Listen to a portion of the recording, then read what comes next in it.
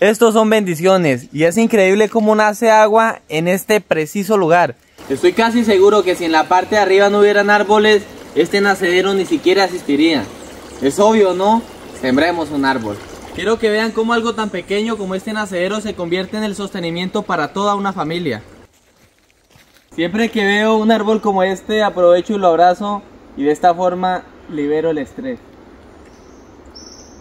Abastece con agua estos lagos donde hay mucho pescado.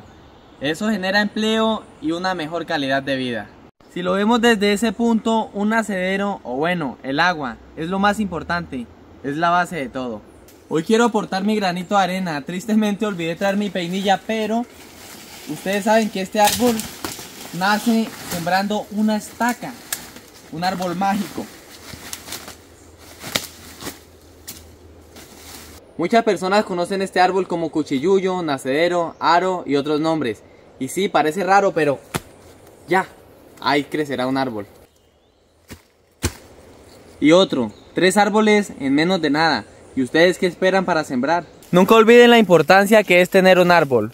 Un feliz día para todos y si me ven de noche, una feliz noche.